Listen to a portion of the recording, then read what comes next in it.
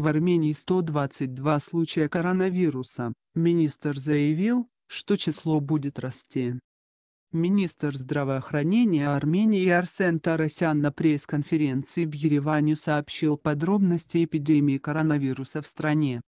Число инфицированных коронавирусом достигло 122 человек, большинство новых случаев связанных с заражением на ереванском предприятии. Ожидается, что число зараженных на предприятии будет расти что связано с его большими размерами и методами организации рабочего процесса, сказал Тарасян. Он отметил, что среди инфицированных нет пациентов с осложнениями, высокая температура тела в основном не наблюдается.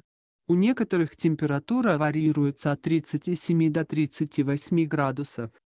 Ранее Русарминфо сообщила, что у медсестры инфекционной клиники в Армении был обнаружен коронавирус.